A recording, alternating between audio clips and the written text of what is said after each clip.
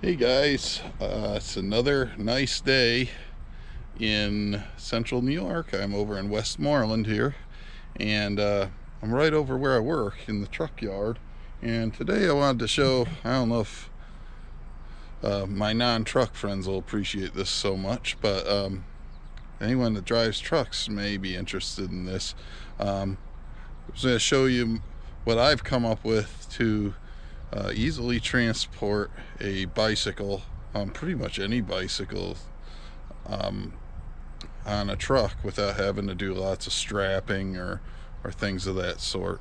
So what I got here is, uh, I got my bike here.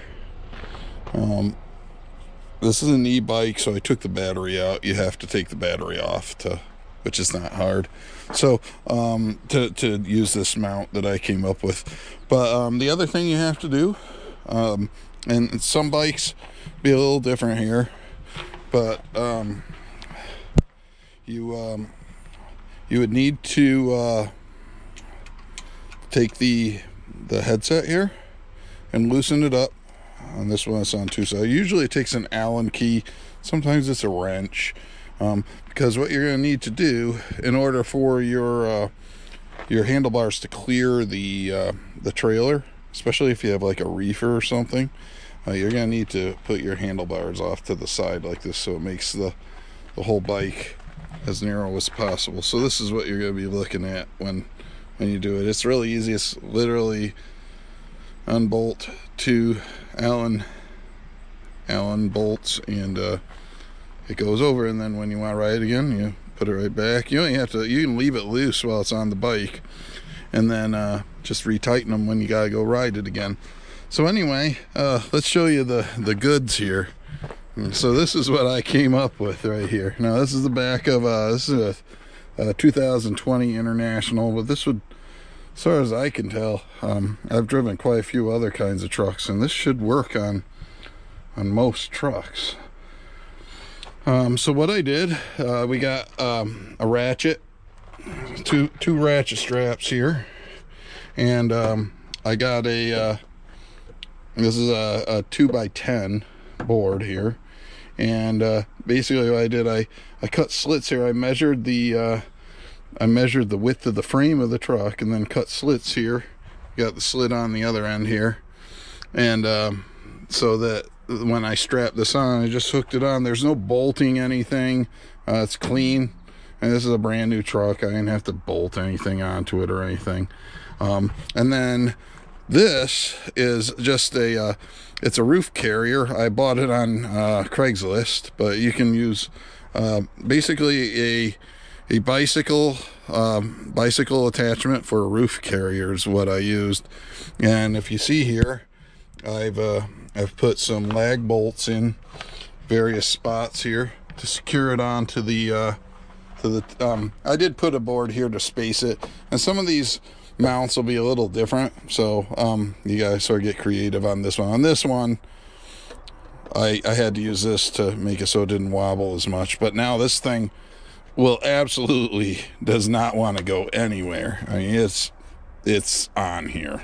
And these ratchet straps are good for like 2,000 pounds each. So I would uh, make a point to inspect them, make sure they're not fraying or anything.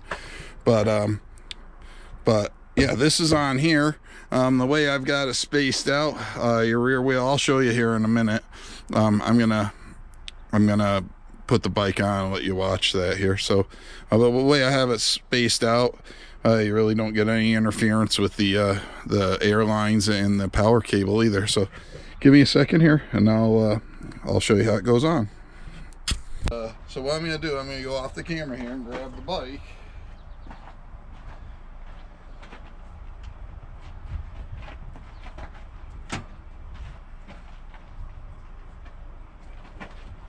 And you just lift the bike up here and then these see uh, this is already designed wheels to fit the, the tires fit right in there. And once you get this in here on, on this one specifically, um, it pretty much stays up on its own. You just, it's got like a little zip tie type thing there, ratchets in there.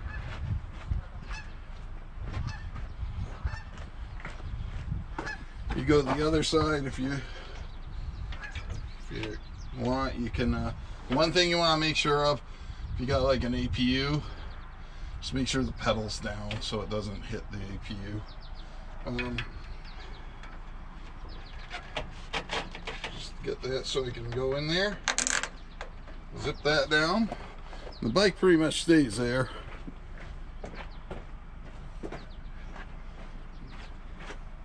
Now it's not 100% secure until you do this deal here.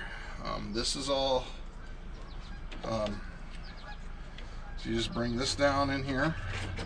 This clamps onto the down tube here of the bike and you just clamp it. Voila! The airline will go right over the back wheel when it's hooked on. Yeah, I've checked the extremes on both sides, both turns, extremes, and it it uh it does not cause any interference with the airlines. Uh, even the reefer does not hit any of these things, any of the seat or the handlebars. Um, the bike's not going anywhere. It wobbles a little bit, but it's supposed to. It, it does that. That's just the way the rack is. I've driven like 20,000 miles with this so far and haven't even come close to seeing it looking like it's going to come off. Um, and then to get it off, you do the reverse. You just pull this, push it out. Same thing on there. Unclamp this, twist it, comes right out. And out we go. And it comes right off.